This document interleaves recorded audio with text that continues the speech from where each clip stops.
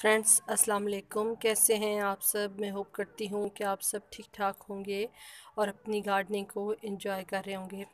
Friends آج میرے خیال میں میں ایک ایسا ٹاپک لے کے آئی ہوں جس پر فرینڈس میری نظر کے سامنے سے کوئی بھی ویڈیو نہیں گزری۔ تو فرینڈس اگر آپ کے خیال میں اس طرح کی کوئی ویڈیو ہو تو آپ نے دیکھی ہو تو آپ کائنڈلی مجھے بتائیے گا، میں ضرور اس ویڈیو کو دیکھوں گی۔ فرینڈس آج کا ٹاپک میرا جو ہے، وہ تھوڑا سا جو روٹین کے ٹاپکس ہوتے ہیں گارڈننگ کے حوالے سے، اس سے تھوڑا سا ڈیفرنٹ ہے۔ فرینڈس آج کی ویڈیو میں میں آپ کے ساتھ، سب سے پہلے تو فرینڈس یہ ہے کہ جب ہم گارڈننگ سٹارٹ کرتے ہیں تو ہمارے پاس کچھ زیادہ سیڈ وغیرہ یا باقی چیزیں نہیں ہوتی۔ ہمیں ساتھ ساتھ ان سب چیزوں کا بندوبست کرنا ہوتا ہے اور اس کے بعد جو ہے فرینڈس ہم اپنی گارڈننگ سٹارٹ کرتے ہیں۔ تو اس وقت ہمارے پاس سیڈ وغیرہ بھی زیادہ نہیں ہوتے فرینڈس اور سیڈ کے علاوہ باقی جو چیزیں گارڈننگ میں استعمال ہوتی ہیں، اس کے بارے میں بھی ہمیں اتنی زیادہ معلومات نہیں ہوتی۔ پھر جب فرینڈس ہم گارڈننگ سٹارٹ کر لیتے ہیں، تو اس کے بعد ہمیں ساتھ ساتھ جو سیڈ ہیں، وہ ہم جیسے جیسے گارڈننگ کا ایکسپیرینس کرتے ہیں، تو ہم خود جو سیڈ ہیں، وہ خود کلیکٹ کرتے رہتے ہیں۔ اور شروع میں اگر ہمارے پاس سیڈ نہ بھی ہوں اور ہمیں پرچیز کر کے گارڈننگ سٹارٹ کرنی پڑے یا کسی فرینڈ سے لے کے گارڈننگ سٹارٹ کرنی پڑے، تو فرینڈس بعد میں جو ہوتا ہے، ہم خود سیزن کے حساب سے جو پلانٹس ہوتے ہیں، ان کے جب فلاورنگ ختم ہو جاتی ہے تو ان کے سیڈ ہم خود کلیکٹ کر لیتے ہیں۔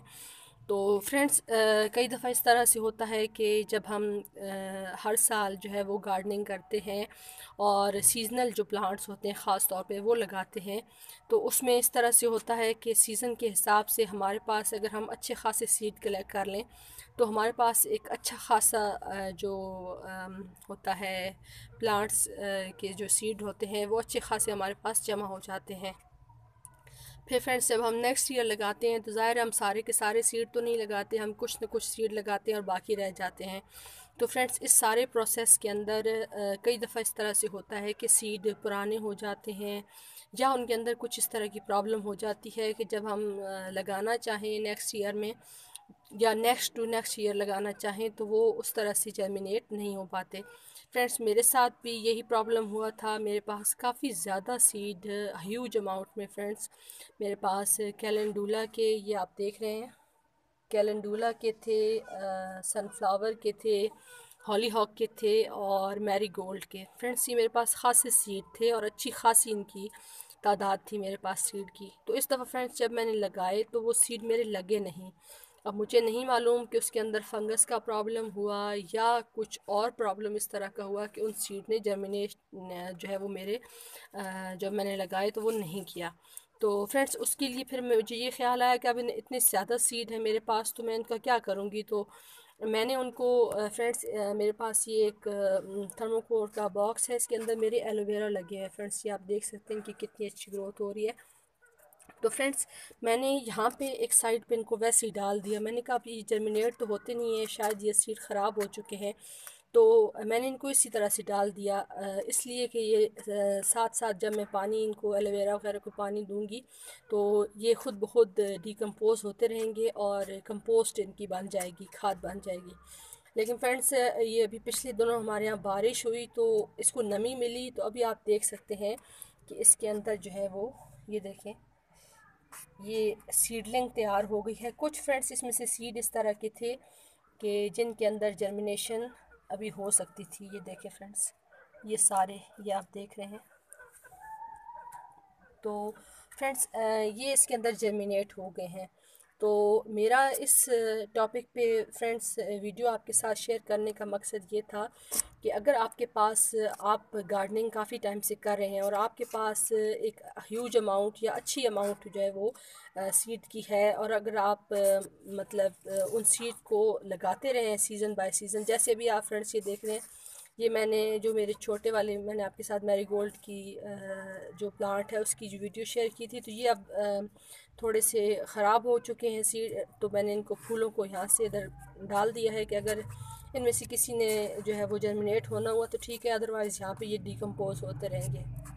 تو فرینڈس میرا ابھی یہ ویڈیو بنانے کا مقصد آپ کے ساتھ یہ ہے کہ اگر آپ کے پاس بھی اسی طرح سے کافی زیادہ سیڈ جمع ہو جائیں اور آپ ان کو لگائیں اور ان کا جرمینیشن ریٹ آپ کو اچھا نہ ملے یا وہ بالکل جرمینیٹ نہ ہو تو آپ ان سیڈ کو باہر مت پھینکیں فرینڈس ان کو آپ اسی طرح سے جس طرح سے میں نے ڈالا ہوا آپ دیکھ سکتے ہیں فرینڈس اس کے اوپر کسی قسم کی کوئی سوائل نہیں ہے، کسی قسم کی.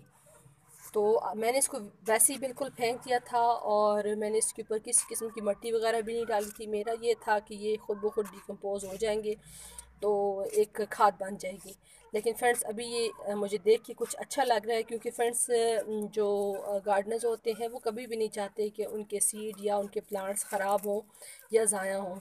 تو ابھی ان کی تھوڑی بہت جو جرمنیشن ہے، یہ دیکھ کے مجھے تھوڑی سی خوشی ہو رہی ہے کہ کچھ سیڈ اس میں سے بھی نکل آئے ہیں۔ تو فرینڈس میں دیکھوں گی، اگر میرے پاس سپیس ہوئی تو میں ان کو بھی سیڈلنگ جو ہے تھوڑی سی بڑی ہو جائیں تو میں ان کو بھی جو ہے وہ کسی میرے پاس اگر کوئی چیز ہوئی لگانے کے لیے تو میں اس کے اندر اس کو لگا دوں گی۔ تو فرینڈس میں ہوپ کرتی ہوں میری یہ یونیک ٹاپک ہے کیونکہ میں نے اس ٹاپک پہ آج سے پہلے جو ہے وہ یوٹیوب پہ کوئی بھی ویڈیو نہیں دیکھی۔ اگر فرینڈس آپ نے کسی قسم کی کوئی اس طرح کی اس ٹاپک پہ اس حوالے سے کوئی ویڈیو دیکھی ہے تو آپ کائنڈلی مجھ سے شیئر کریں، مجھے اچھا لگے گا، میں اس ویڈیو کو بھی دیکھوں گی۔